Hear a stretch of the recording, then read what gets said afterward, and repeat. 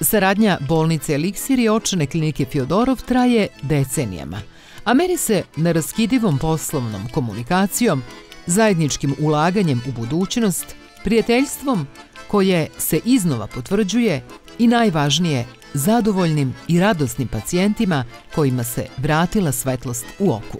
Нам 35 лет нашего сотрудничества. Огромная дата. Прошло очень много времени. Ove godine obeležavamo 35 godina naše saradnje. To je jako važan datum. Mnogo vremena je prošlo.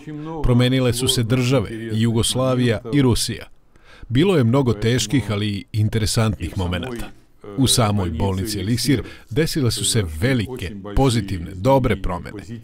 Od male ordinacije postala je oftalmološka bolnica i danas je to bolnica koja nosi naziv Eliksir, a koja se vezuje za predivan časopis Eliksir, koji se ranije izdavao u dnevniku.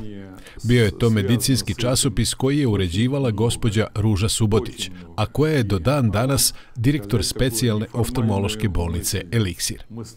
Puno toga nas veže i mogu slobodno, neformalno da kažem da smo postali više od rođaka. Postali smo verni prijatelji, postali smo predivne kolege, razumemo se međusobno u pola reči, a to je zaista jako važno. Upravo zahvaljujući tome, mnogo smo uradili za srpske pacijente, za pacijente koji boluju od različitih oftalmoloških oboljenja. Tehnologija koju je razvijao i opredelio naš genijalni učitelj Svjatoslav Nikolajević Fjodorov i ta tehnološka osnova koju je on uspostavio, ona na današnji dan služi svim pacijentima, bez obzira u kojoj državi se nalaze pacijenti. Неважно, в какой стране находятся эти пациенты. Ova saradnja je zasnovana na neumornom ulaganju u razvoj i primjenu naučnih dostignuća na polju oftalmohirurgije.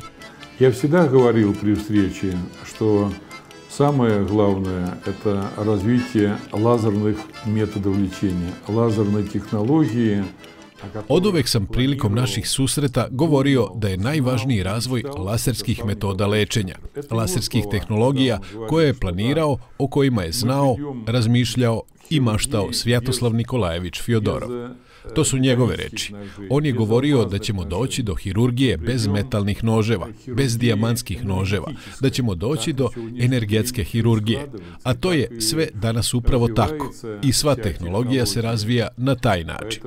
Ranije smo ovde u Eliksiru, kao i kod nas u Kalugi, u našoj klinici, počinjali sa klasičnom hirurgijom skalpelom. Postojala je dijamantska hirurgija i kod operacije katarakte pravili smo rez dijamantskim nožem i refrakcijonu hirurgiju, radijalnu keratotomiju radili smo uz pomoć dijamantskog noža. U to vreme smo to smatrali uspehom, a to je ni manje ni više bilo pre 35-40 godina. I za taj jako kratak vremenski period ja smatram kratak. Za 40 godina tehnologija je jako napredovala. Na početku smo radili običnu ekstrakciju katarakte, zatim je postojala fakoemulsifikacija, a sada operišemo kataraktu uz pomoć femtolasera. To je ogroman put. I uvek za naše mlade kolege navodim primer kako se celokupna svetska istorija i nauka razvijala. Od razvoja radija, koje je izumeo ruski naučnik Popov, i kako se razvijala televizija, i kako su se razvijale videokamere, i kako su se razvijali mobilni telefoni i telefonska veza. Radio je trebalo da zaživi 100 godina, a telefonima 10 do 15 godina. И если радио внедрялось в жизнь 100 лет, то телефоны 10-15 лет. Ova saradnja je zasnovana i na iskrenom prijateljstvu zdravstvenih radnika i saradnika upućenih sa idejom da je dobar vid za svakog. Jedini cilj postojanja ove saradnje. Если развивать, вернуться к нашей, к нашей офтальмологии, Ako se vratimo razvoju naše oftalmologije, ja sam još u svojim počecima, u svoje vreme operisao kataraktu uz pomoć noža grefa. A to je tehnologija stara 150 godina. 150 godina je postojao nož grefa. I 40 godina posle noža Grefa mogu potpuno uvereno da kažem da smo došli do femto laserske hirurgije, do ambulantne hirurgije katarakte. Ranije smo našim pacijentima posle operacije nožem grefa stavljali povez na oba oka. Nedelju dana su ležali, strogo na leđima, nisu smeli da ustaju. A sada, uz pomoć femtolasera, uradimo operaciju katarakte i pacijent se posle sat vremena otpušta kući. To je apsolutno drugačiji pristup ka toj tehnologiji. Ja navodim samo jedan od primjera, a to je operacija katarakte. Jer uvek ceo svet donosi zaključak o nekoj klinici na osnovu tehnologije hirurgije katarakte. Jer to je najsvetlija hirurgija. Pacijent dođe sa niskom vidnom oštrinom, a ode sa visokom.